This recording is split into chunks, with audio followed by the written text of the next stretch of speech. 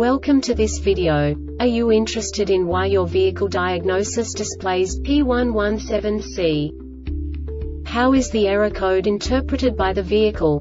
What does P117C mean, or how to correct this fault?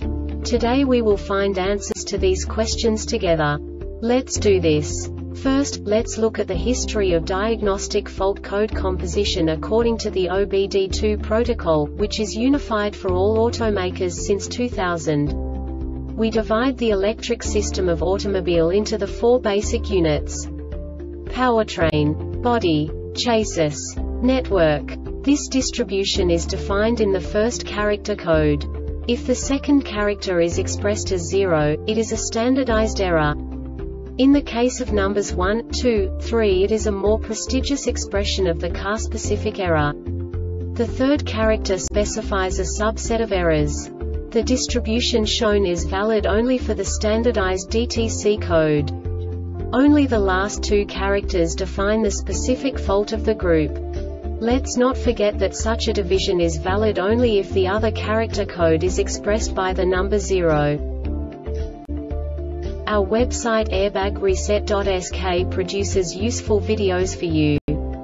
You do not have to go through the OBD2 protocol anymore to know how to troubleshoot any car breakdown. You will find all the diagnostic codes that can be diagnosed in Audi vehicles. Also many other useful things. The following demonstration will help you look into the world of software for car control units. You unbelievably can move the video a bit further. The error code is split into two bytes consisting of 16 bits. One bit is the basic unit that each computer works with. The bit has two logical states. 0, low level, 1, high level. By combining the first two bits, the basic character of the error code is expressed. The next two bits again determine the second character.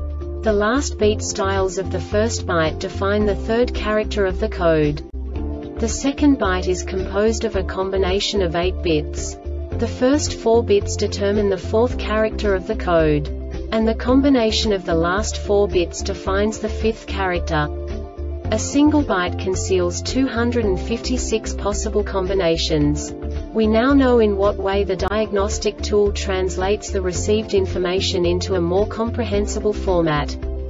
The number itself does not make sense to us if we cannot assign information about it to what it actually expresses.